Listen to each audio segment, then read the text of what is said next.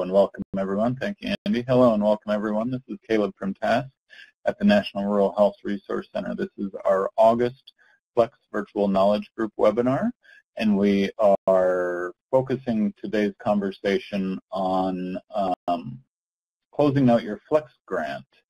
So it's a little different for, for everyone and anyone who's participated in the Flex program up to this point and this will be the first time the Flex grant is actually closed out. It's been a continuation up to this point. Um, so that means a couple different things, but um, as Soleil uh, Barry from the uh, public health analyst from the Federal Office of Rural Health Policy will uh, will help us understand and discuss a little bit. Uh, there's not a ton of differences, but those those differences are important, and they, the grant needs to be closed out a specific way, as well as uh, Poti Petway, uh, grant management specialist from the uh, Division of Grants Management and Operations, is joining us today, as well as Lynette Dixon from the North Dakota School of Medicine, so from the North Dakota Flex program. So we're excited to have everyone join us for our conversation. So as everyone joins the joins the webinar, we are muted by default. So star two will unmute your line and we will let Andy put up the polling questions so we can make sure we offer um, webinars that are helpful, beneficial, and um, educational for you guys. So whenever you're ready, Andy.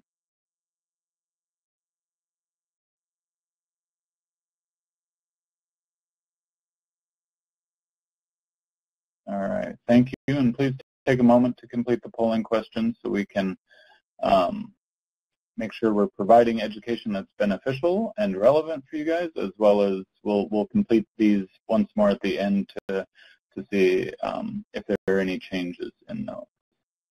And Soleil, can I can I have you say something so I can make sure I can hear you? Hello, everyone. Can you hear me? Good afternoon. How are you today? I am doing wonderful. Thank you, Flex Team, for having me over. And um, we hope that we make this uh, session uh, interactive and fun as much as the session can be. But feel free to ask us any questions.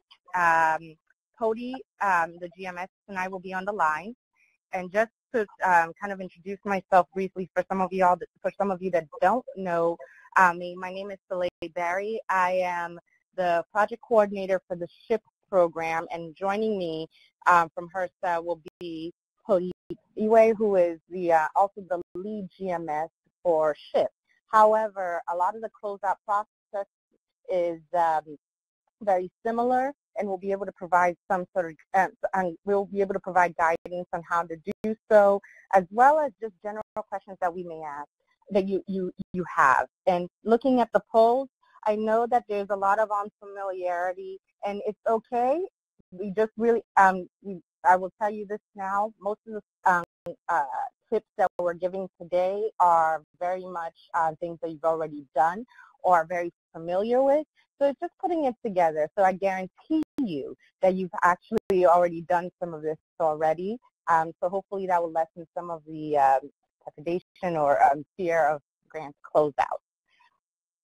Um, Caleb, do you have anything else you want me to, uh, to, um, to add before I start our session? Not that I can think of, just an encouragement for, for participants to dial in to the webinar and unmute their lines so you can ask questions and, um, and have interaction as, as those of you who participated in the virtual knowledge group calls up to this point know we, we really like to have these interactive and much more discussion-based than presentation-based. And, and we do that intentionally. We, we don't ask our presenters and quotes to, to bring slides or any presentation. We really want these to be interactive and discussion-based so you guys as participants can, um, can help drive the conversation. So uh, just that, Soleil, and then the rest, um, I'll, I'll kick it back to you. And then we do have both Poti and uh, Lynette on the line, so whenever you guys are ready, um, we can keep the conversation going. Perfect. So what I'll um, go over, and, and Cody will chime in as uh, needed, is first just kind of cover what the grant closeout process is and and touch briefly on that uh, no-cost extension, also known as NCE. I'll kind of give you some tips and pointers on what you uh, what to expect, the deliverables um, that are due, what you need to um, submit to HRSA, and the things that you need to do for EHB. Again, this is just general, so feel free to ask questions, and I'm sure the TASC team will let me know um, so I can address them as they come up. The second part is just sort of touch, um, Cody's going to touch briefly on just, you know, some of the FFR um, pieces that you have to complete and a little bit on the new cycle for the cooperative agreement. And we'll try to kind of wrap up with some things to remember and uh, handing it over either uh, addressing some questions and or uh, having Lynette come um, explain her experience. So like Caleb said, is very interactive. But we'll start off briefly um, by saying that um, what Portia and I really want to uh, really sort of convey here is one to really check in with your project officer and with your GM uh, uh, with your GMS for some of these very detailed questions, uh, very specific detailed questions. We can answer some of them, but if they're very specific, you might need to um, tap them. The other piece is to really remember what grant or cooperative agreement you're um, working with. So when I say grant, I'm specifically talking about the Flex grant program that is uh, wrapping up. Um, that should be finished on August 31st. Uh, all those activities and uh, FFRs and financial documents that go uh, that align with that, that's one um, piece that you have to track. And the other piece also has to deal with the cooperative agreement, which is uh, the new program, the new cycle, which pertains to the new cycle. So if you have a deliverable for the grant, or if I'm refer, referring to the grant, I'm really referring to the flex piece, the flex grant. And if I'm specifically addressing the cooperative agreement uh, or any deliverables that are due for that, make sure that you're specifically looking into the, um, that cooperative agreement piece. So keep that in our mind as we're going.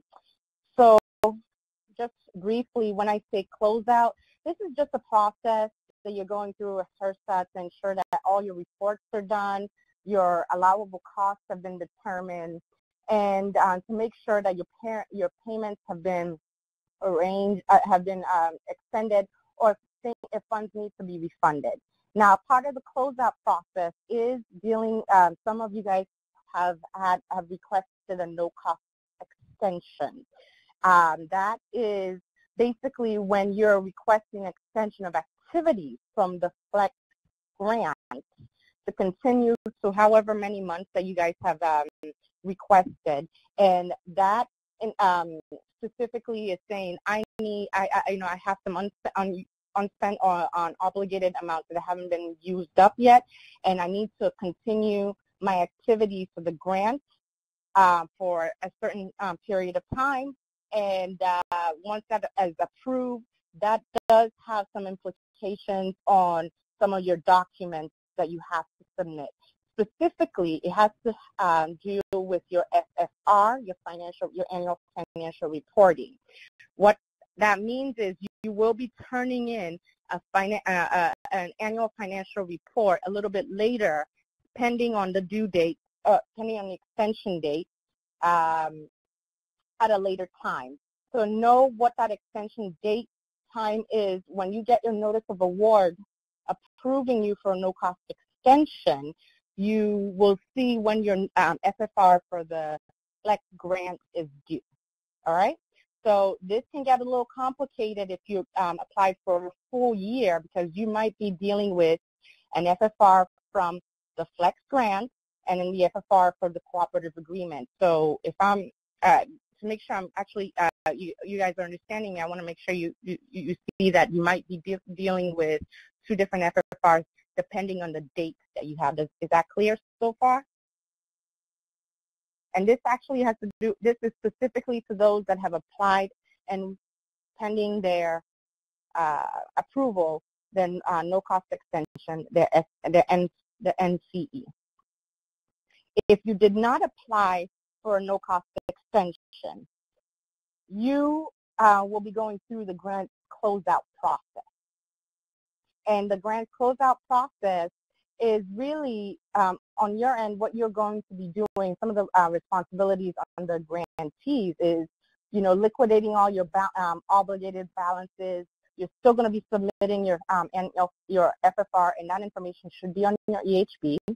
Your quarter your quarterly FFR to PMS is also due, and you also need to submit your um, any reports that are due um, uh, for the program regardless of if you have a no-cost extension or not, you have to submit your PIM.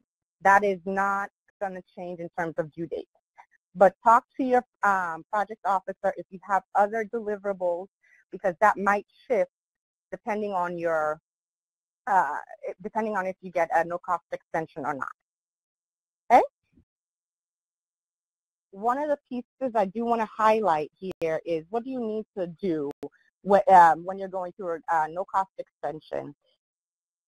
The first thing is make sure your uh, EHB is updated for contacts, especially your FRA, that's your finance people, and your programmatic people. So make sure the emails are updated, the phone numbers are updated, they have the right authority, they are able to receive notifications from EHB. Why? Because HRSA does all communication with closeouts through EHB. So if they need information from you, they're going to uh, they're going to send you an email. If it's not even coming from your project officer, it's coming from another team within uh, um, our financial division that's going to be sending you emails to say this needs to be addressed. So please make sure you have your um, contact updated. Second is making sure that your um, FFR you have, uh, you, when you're doing your SFR, that you have correctly documented all your disbursements. Uh, make sure you do, you reconcile your uh, your disbursements with your reporting on with PIM. Your, excuse me, you have made sure your final FFR is reconciled with the disbursements report on your PMS report. If you have specific questions on what I mean um, about that, uh, is going to be able to provide some guidance on that. If you need to return money, you also need to let your GMS know so that they can um, make, so that they're aware that your SFR includes money that needs to be returned for the year for the uh, flex grant third piece is you must retain all your records for up to three years after submitting your final um, SFR. So keep it with you.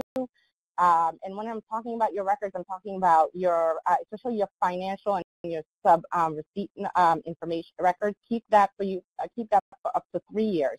That's a huge part of the responsibility on your end. But those are sort of the key critical pieces to go through. Just to reiterate, update your um, EHB um, contact, make sure your FFRs are up, um, uh, reflect your your uh, make sure your annual FFRs reflect the amount of money that you've already spent. Reconcile that information with your PMS account and keep all your records for up to three years. Those are sort of the key pieces. Now I'm going to see if Cody is on the line to address any information that I've missed in terms of just um, on the financial piece or even on the news cycle, what people expect. But before I turn it over to Pody, does anybody have any questions from a programmatic standpoint in terms of what to, uh, what you need to do?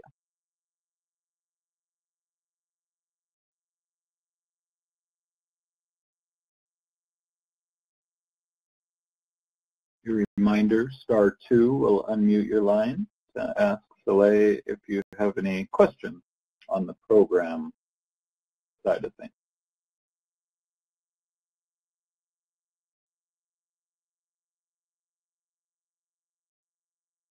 We have one person typing in. Oh, just a thank you. And Cody, if you're on, star two will unmute your line. Good. So while that person is typing up, I did have um, a thought that just um, I mentioned. So one of the pieces from a program standpoint that you want to also ensure, if you have deliverables for the project period, things like quarterly reports or um, uh, other submissions, your NCC, that aren't completed, um, it could be that it was delayed or it could be had um, been missed for whatever reason or, you know, a glitch with EHB. Please let your project officer know because we can't leave them outstanding. Even if they had been turned in, make sure all your deliverables and submissions that are required for the program are up to date and it says processed and submitted. If it hasn't, send an email to your um, project officer to uh, let them know so that we can put in a ticket for that and take that out uh, HRSA cannot close your grant, cannot close down your grants if you have any outstanding programmatic or financial reporting due. Uh, with that, I'm going to wait for the question to be asked.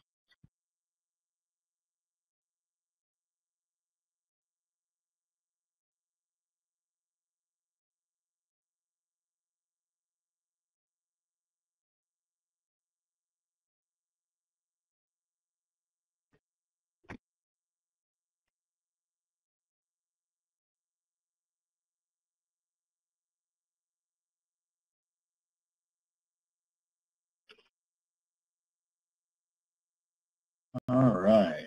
Um, hearing no questions, just one thank you came into the chat box for Soleil. Uh, Cody, are you there? Star two will unmute your line.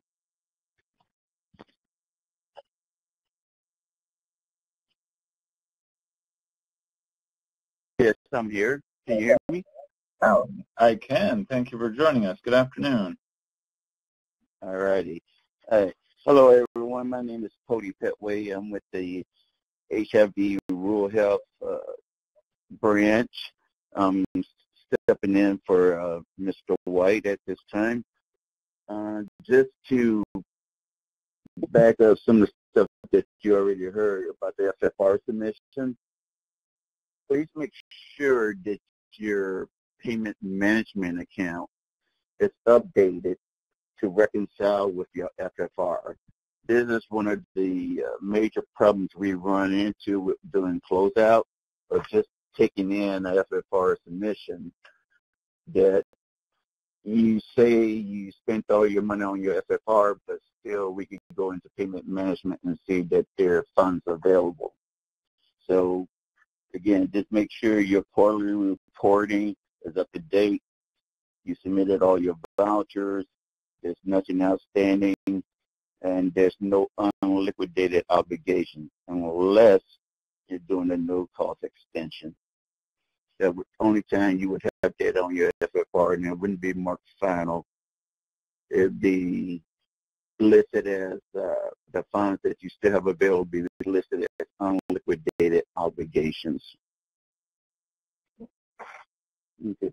Um, secondly, uh, FTEs. You're doing a no-cost extension and you starting up a new program. They kind of be existing at the same time, so you don't want to be have employees 1% on your no-cost extension grant and 100% on your corporate agreement grant.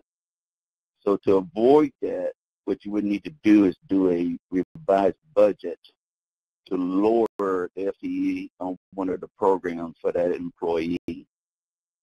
That's something that we could work with you with to give you more details if you need it, but that would be the process to avoid uh, running to, to that issue of being having an employee double dip on double dip on both programs. Um, I believe that's it as far as what I needed to just expand on. If you have any questions, uh, please uh, ask them now.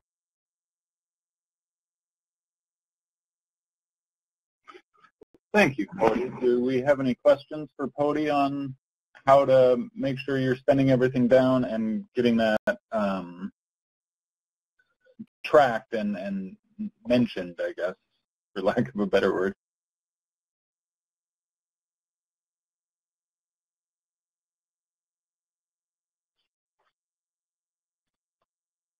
If you have any issues also with that uh, uh, 425 reporting and payment management, please contact your payment management representative. They can give you step-by-step -step details on how to update that if you need it. Awesome, great. Thank you, Pody. Um, any questions for Pody?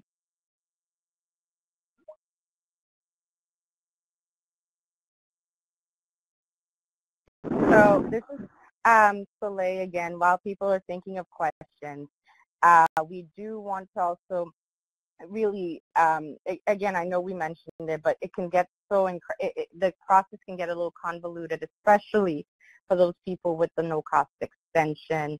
Um, when you're working with, theoretically, it's almost like you're working with two different programs. So make sure when you're doing your no-cost extension, you are working on activities for the Flex grant, uh, which might be similar because of how um, the, the, the, programs are set up with the cooperative agreement, uh, which of course means that you might have similar, or you, have, you might have the same uh, person associated with both uh, grant programs. And what Pody was trying to, what Pody had mentioned in terms of that FTE, you have to really watch that your FTE doesn't uh, isn't over 1.0. So if you're doing uh, a full time in uh, on the Flex grant, you can't do full time on the uh, cooperative agreement because you'll be double dipping, for lack of a better word. So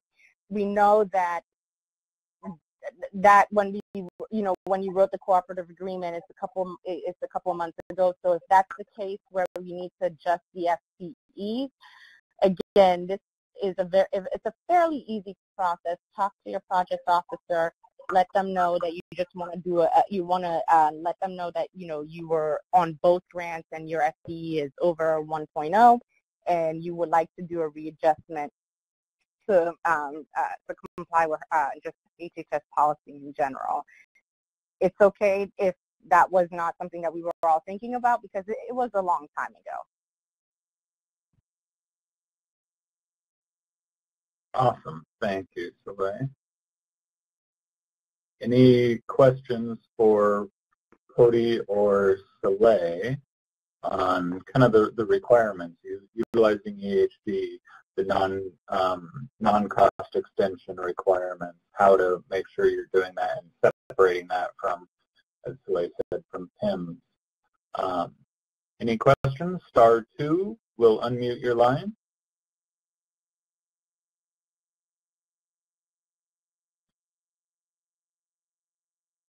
All right, hearing none, let's go to Lynette Dixon from, she's the Associate Director, the Center for Rural Health at the University of North Dakota School of Medicine and Health Sciences.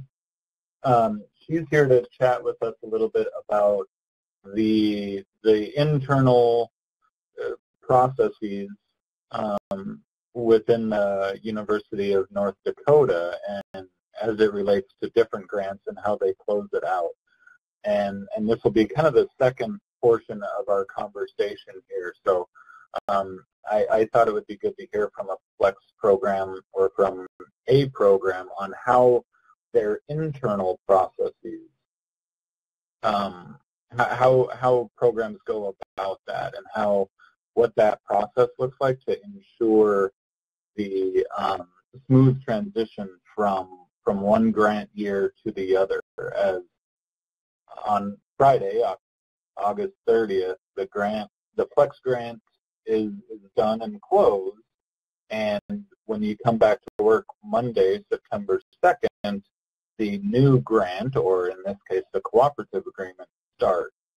So um, thank you, Lynette, for joining us to talk a little bit about your your guys' process and how that works on both the budgeting side as, as well as the other um, aspects within your office and star two will unmute your line.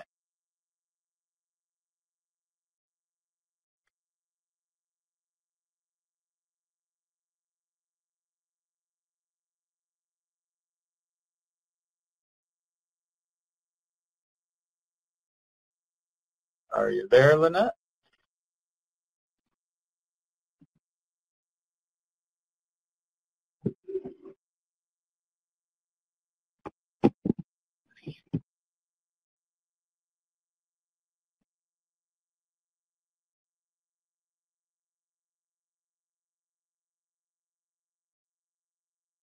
Lynette Dixon from North Dakota, are you on the line?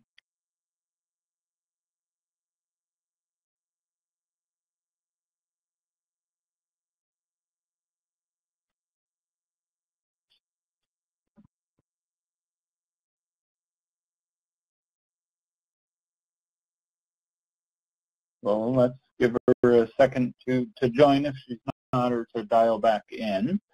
Um, star two will unmute your line if you're um, there and not being heard.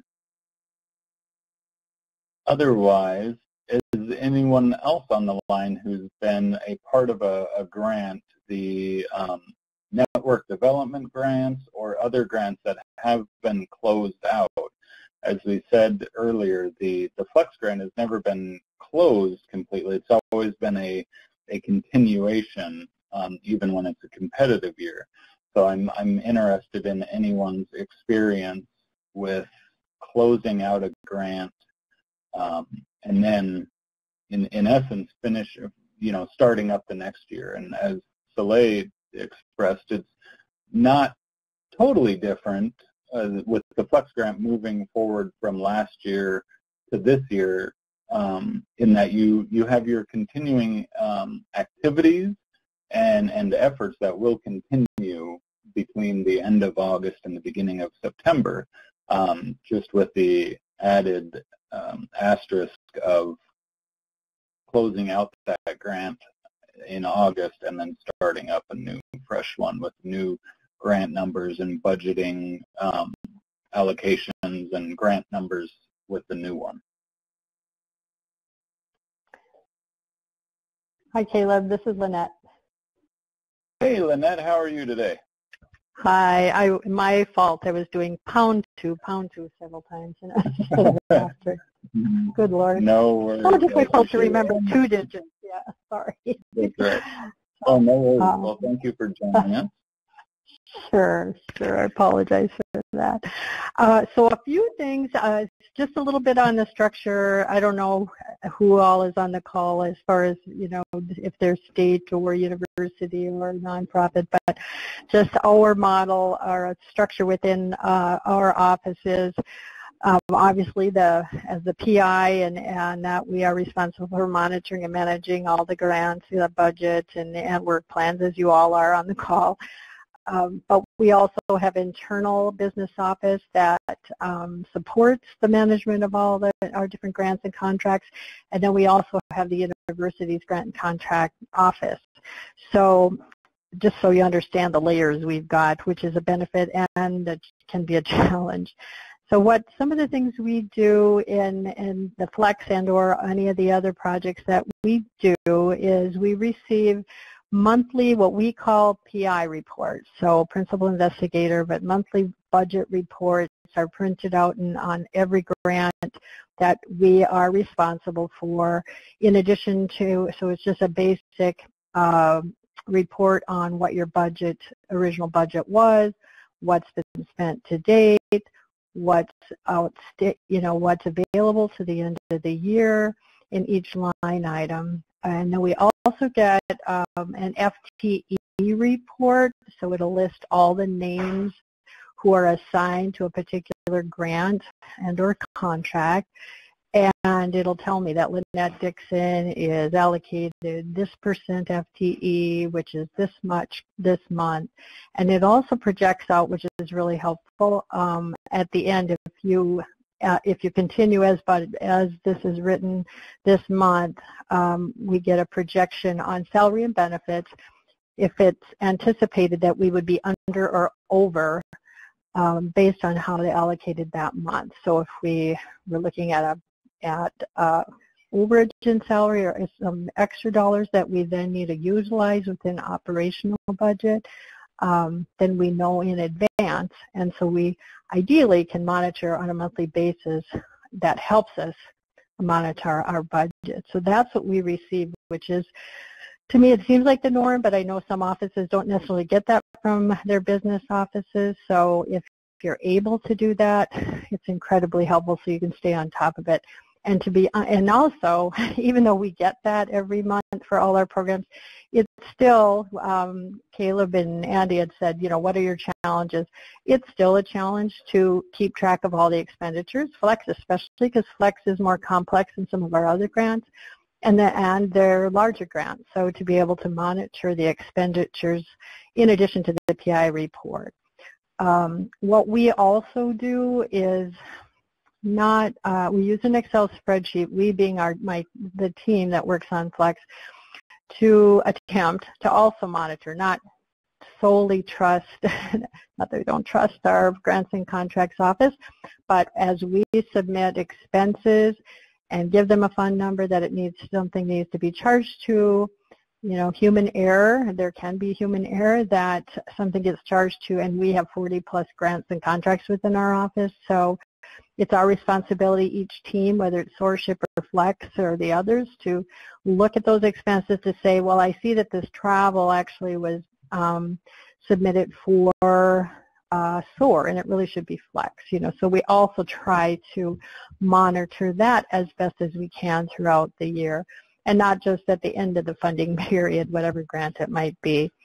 And so looking at the PI having a monthly report of sort to reflect also be monitoring internally with our team and and knowing that there are some changes or we might have budgeted something costing $3,000 that it ended up only costing $1,800. So what is the dollars that we might have available to best utilize the funding to avoid as we know it is discouraged um, in not having some unobligated funds as much as we can. Um, avoid that. So, so those are a few things on the finance side. The other thing that our grants or business office will do uh, to transition from, you know, one funding period into a new one is even if we haven't received the notice of grant award, they will set up a temporary fund number for the new year. So, and then once it is official and we've gotten the, the NOGA, um, then they can transition to a a current, you know, uh, permanent year for that funding period. Because that way, if you're able to, you know, begin charging whether it's salary and benefits or an expense that happens, you know, from a Friday to a Monday, you've at least set up a fund number, temporary or not, because we know those NOAs don't always come out in advance of, of uh, when the funding starts sometimes, or it's just really tight. And if you wait till you got it and the people are in the office, that's a, I think a tip if you don't already do that. So you're not waiting for someone, there's no holdup that you immediately have a, a new fund number that's set um, as a temp number. So things can be charged to it. You, there's no gap in in being able to uh, set and, and charge out expenses. So those are some of the things um, that I was thinking on the financial side of things. Our University Grants and Contracts Office, as I mentioned, they issue, thank heavens, no, the FFRs. So they ultimately um, send all of those in and keep track of the deadlines for the uh, for us within our university. So that piece, I'm very grateful that they submit that. We're responsible for all the other fun um, reports that was mentioned by Soleil. And so that, that one piece they do keep track for the entire university. Um, let's see. I some t- on the activity side, as we all know, Flex, you know, many of the activities do complement and, and not overlap, but it, just because it's August 31st doesn't mean that some, not all, activities may end. They may continue. So uh, that, that there again, setting up a separate fund number, then you're ready to roll if you're charging any kind of FTE, salary and benefits, and activity expenses from prior to August 31st to the new, you've got that fund number ready to go, so it, there sh should be less issue with that. So those activities, many of them are required. You know, we require that we can utilize, we can support this activity with these expenses, but they must be completed by August 31st, which I'm sure you all do. And then we ask for um, the invoices as appropriate as much as we can long before the 31st, if at all possible. So if we've got some programs going on, we'll try to make, have them end maybe July so that once they get their, their uh, invoice they need to invoice, they can submit it sooner rather than later because there's often delays with with some of the people just getting information from the rural hospitals or whatever community or consultants usually don't have trouble getting us their invoices but uh, getting that from some of the hospitals uh, depending on the program. So, so we will kind of back out things in a month ahead just to avoid delays, but ideally they still have until um, say 30 days after the August date. They have to complete the activity, but they have some time to submit invoices and tracking on those um, through our internal business office, but also as project coordinators, we need to be responsible for supporting that because we know those local folks, our business office, don't they don't necessarily know the people, and we like to be the people that are communicating with our our stakeholders, not necessarily the business office, um, for for obvious reasons. Um, let's see. So the activity side challenges, a couple things I've mentioned, the tracking, uh, I think they mentioned earlier, which was very good. A recommendation is making certain that your information, your points of contacts are all updated in that EHB.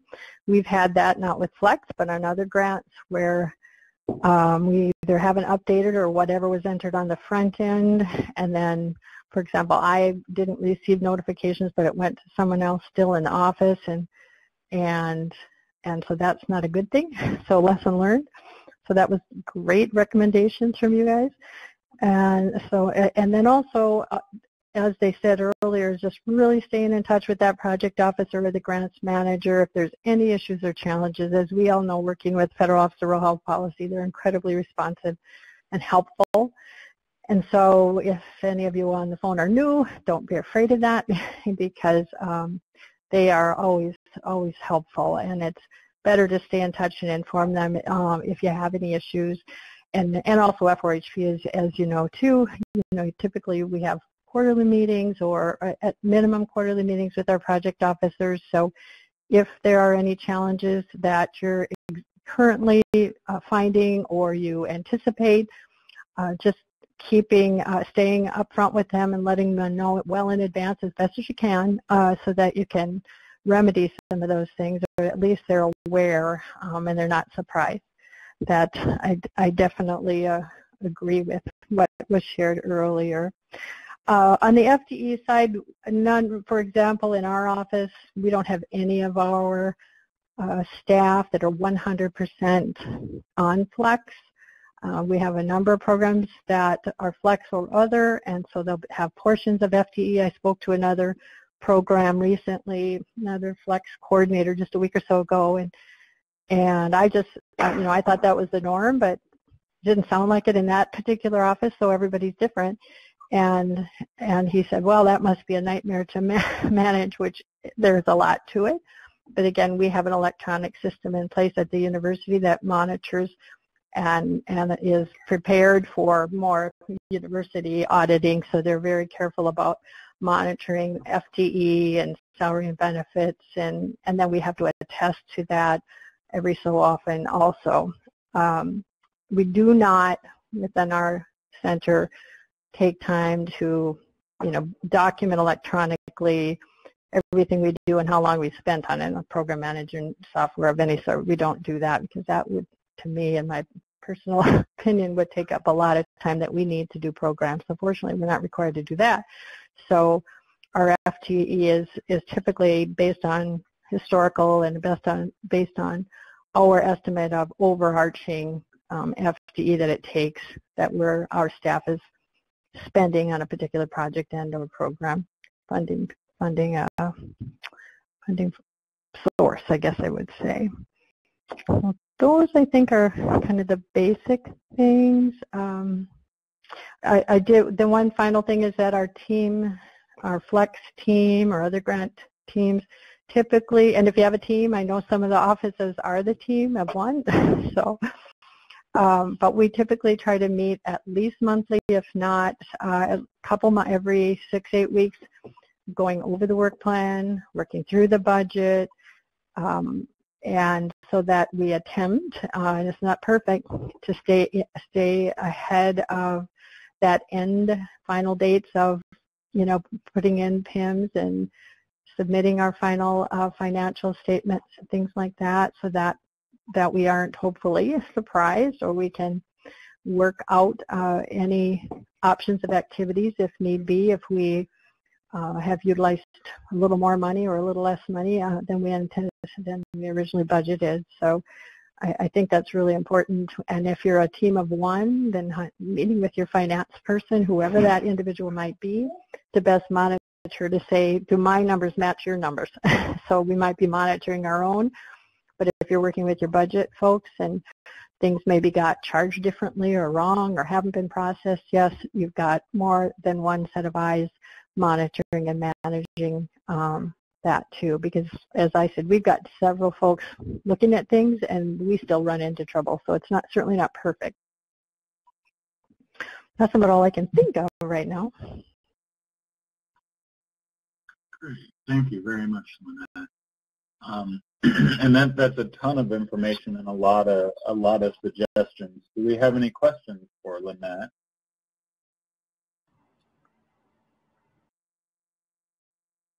This is uh, again, while you guys are um, uh, typing in and thinking some questions, I um, also wanted to mention everything that Lynette has mentioned is exactly what um, it, it, it is really what uh, it's the best idea, best suggestions. And um, as you mentioned, you know, just really working with your FRA team, your your finance person. We know what the hospital is getting the receipts might not be easy and it's time consuming, um, but when you're closing out a grant, you really need to have that information. So keeping that system and creating a system where you can do your checks and balances for the closeout and also being very specific about the uh, cooperative agreement when that money goes through because it could very well be the same hospitals that you're, you're you know, giving money to for different activities.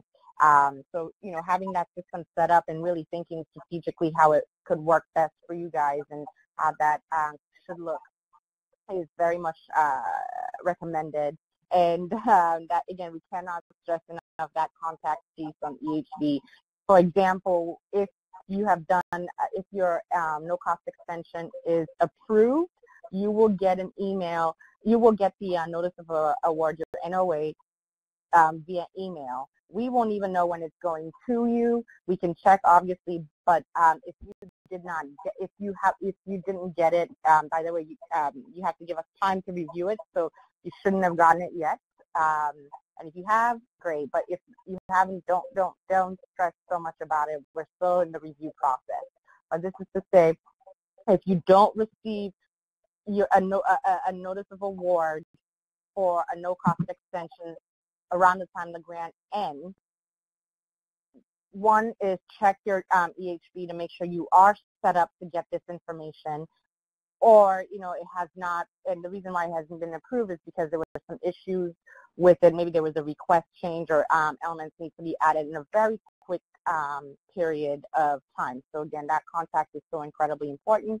And in case you're wondering what the timeline is in terms of a grant closeout, let's say the grant ends on the 31st of August and you're not doing a no-cost extension, the grant closeout process is a couple of months. So you will not immediately uh, just shut down the next day. It takes a few months for HRSA to go through, for the HRSA closeout team to process all that information and get back to you. You will get an official notice of award to say that your grant has been closed completely um, within a few months. I'm not 100% sure how um, how much how much time is uh, in, is in there, but it is at least a month and a half. And Cody, if you can give them the exact timeline to expect that final um, notice uh, notice of award, would be great. Uh, but just to uh, say, give us time between the grant ending and when you get your official grant closeout notice of award?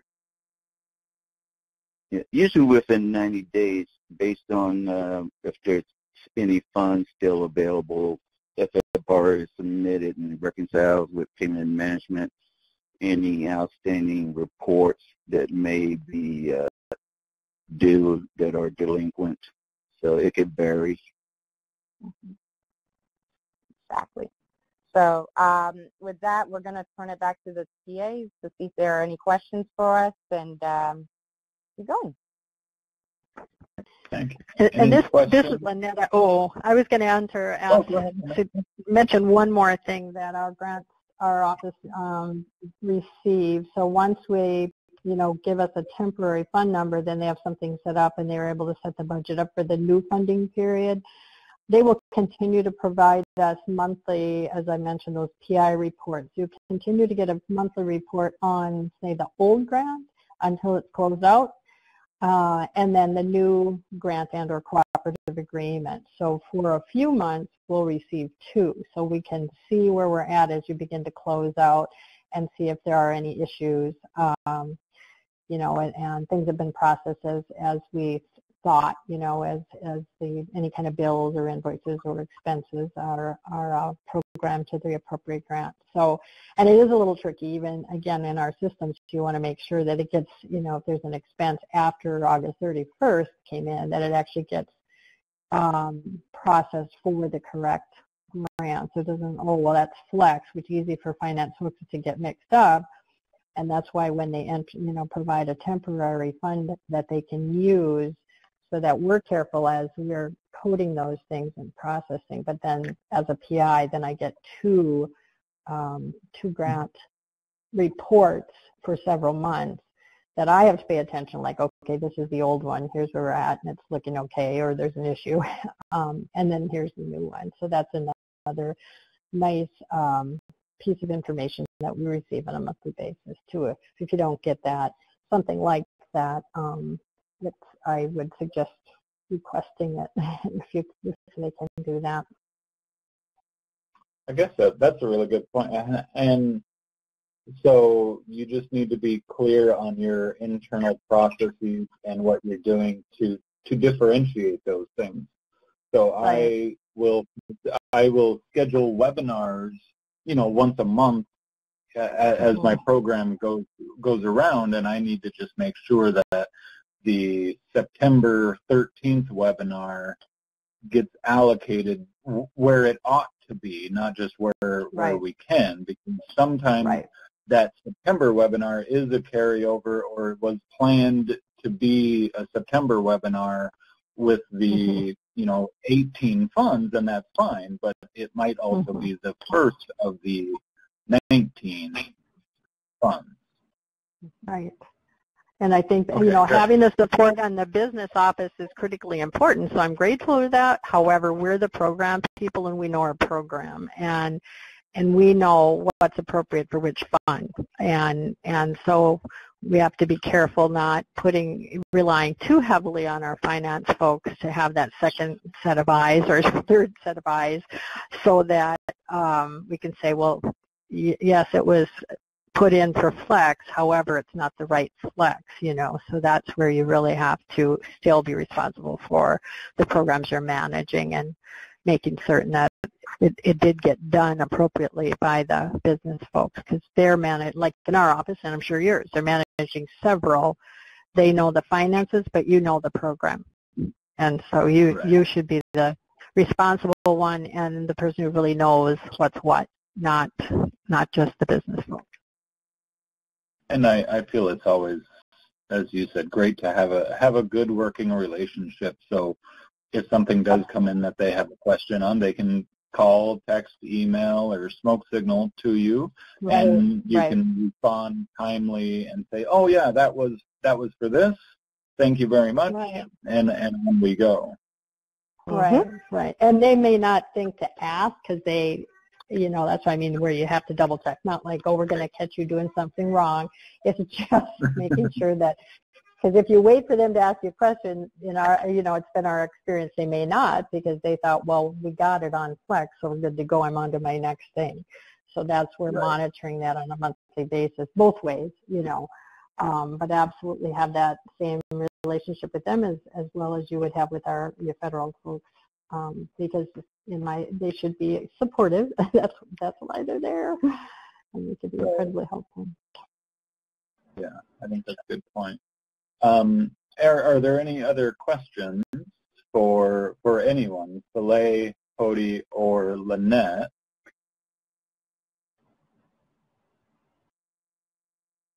I will. Uh, uh, This is Cody.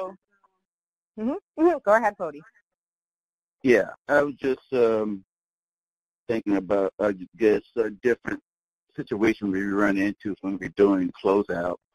And you're dealing with a large organization, you're dealing with uh, organizations that has multiple programs, multiple grants. And sometimes we get a situation where the wrong grant basically is charged and they're trying to submit the FFR, and we run into discrepancies because it's not reconciling with payment management. Uh, are there any, say, best practice that the grantees can use to avoid falling into that type of situation? Other than just paying attention to detail, I know, but you know, it happens a lot. So you mean on the final FFRF, on your final Yeah. reports, or just yeah, yeah? I sort of Go ahead. oh final or or what, or just the expenses Uh, itself, just or on that final report. that final report, and sometimes we got situations when the grant's already closed out and we need to go back and do a correction, or it's Um, from like a, a particular budget period. If you're doing the final one, we can adjust the final FFR, but it seems like it happens a lot more Mm. than it probably should, and it just Sure. causes a lot of problems for the grantee. You know, Right. the legwork going back trying to find out what happened. hmm Well, especially if you've closed it out, I know our our, our folks wouldn't be happy if unless there's something just Yeah. crazy. But we hear about it. But um, yeah, good question.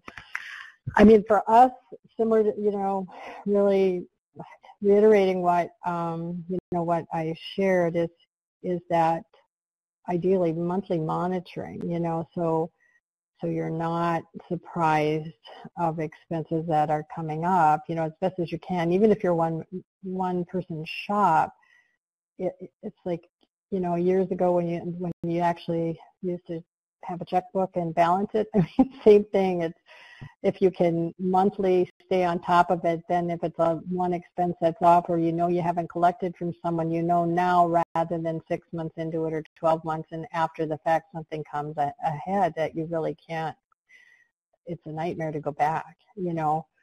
I, I think being able to have um, the luxury, I hate to say luxury, but if you don't have a business office that will provide you that monthly um, or at the most every two months, but a monthly report out that you can use as a tool, um, having some kind of ghost records of your own to manage so you, you really know what's going out and what's coming in and what's unspent because it, it will, um, it can really bite you, you know, if you're well out of a closeout period of a grant.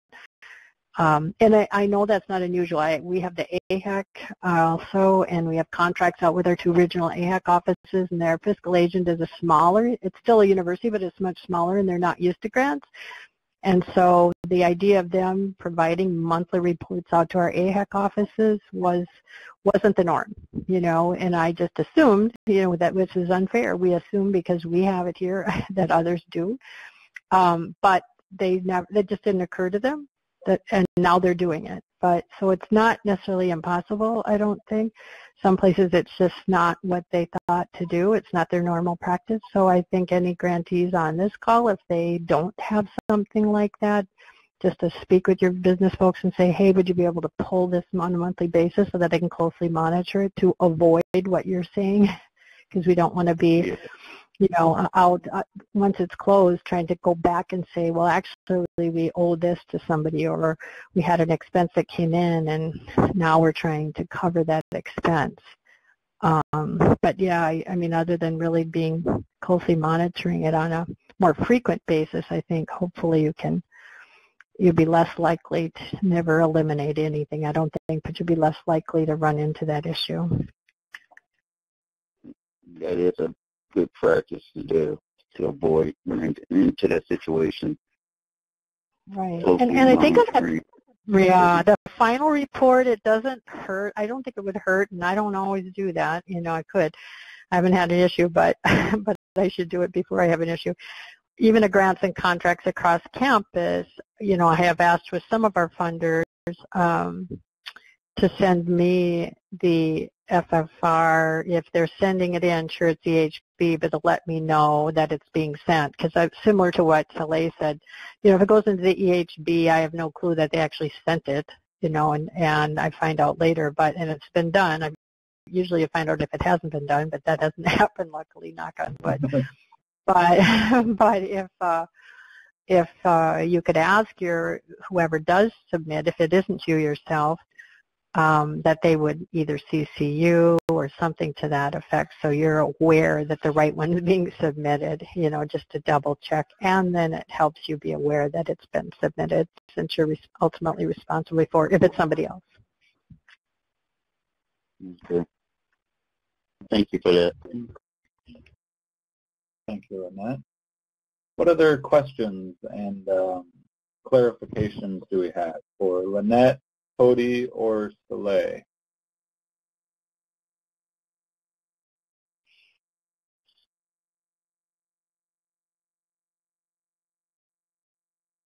Hearing none, I will um, just a little uh, process suggestion I have. Uh, Tracy and I were on a site visit to a to a state flex program not too long ago, and they we were discussing the you know the cooperative agreement and getting that you know started, and um, they had a really neat um, solution to the the slow process within the state of executing contracts and getting getting the grant all started um, when September 1 hit. And I know that's something that a lot of flex programs face where you're not really able to do anything anything at all until September 1 and that starts the subcontracting process and that starts the identification of um, opportunities for for contracting and whatnot. Um, and this this Flex program had um, started to identify those processes within the state and pre-write as much of the um, the request for proposals that needed to be written and talk to the, the grants and contracts management people within the state as much as possible. That way when when the notice of funding did get um, awarded or the notice of award did get released, everything was set and ready to go except for, you know, those grant numbers and things like that. So all of the pumps were primed and um, wheels were greased prior to the the notice of award happening, and that seemed to be helpful in years past. And I know that's not always possible, but uh, it was it was a a process improvement that I found pretty pretty interesting and and they found pretty helpful. So um, that's another suggestion that that I've learned is just familiarize yourself with whatever state processes. If it's you know state government, your processes are going to be different than if you're a, in a small nonprofit where you you know or a one person shop as um, as Lynette said. Um, but just familiarize yourself with those processes and try to do as much as you can before um, beforehand as much as you can to to help um, reduce that burden of waiting for those um, those bureaucratic wheels to turn because sometimes they turn slowly. If we don't have any further questions, I will ask Andy to put up our exit polling questions, and um, I will ask participants to take a moment to complete these polling questions.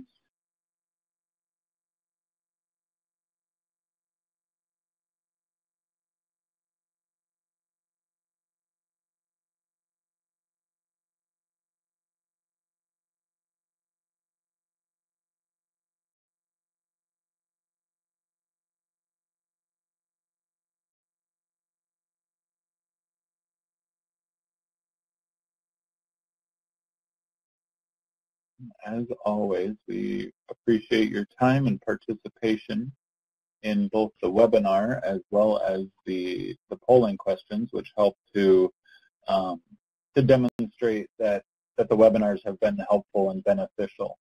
Um, following the, the webinar, we will get the recording of it posted, and um, we have some other things, but once you guys are done with these polling questions, we've got another set on the next page. So Andy, I think you can go ahead and put those up. And I will draw your attention as you complete these polling questions, which we really do appreciate. Um, we'll draw your attention to some upcoming events. The first on the list is the Chronic Obstructive Pulmonary Disease uh, Manual or Guide webinar, which will be um, our TASC 90 webinar. The date has moved, so if you have the TASC 90 webinars on your calendar for the uh, second Wednesday of every month of the quarter, please note that it is Thursday, August 15th at 2 p.m. Um, and we will discuss really all things COPD, chronic obstructive pulmonary disease. We've had a few webinars now, some podcasts are released, which are available on the website for your review, um, but the COPD manual or guide will be released on that webinar. So uh, we're very excited about that. So please um, mark that on your calendars and attend. The Flex Program Management Fiscal Year 2008 PIMS and FY19 Notice of Awards Flex Program webinar hosted by FORHP is Thursday, August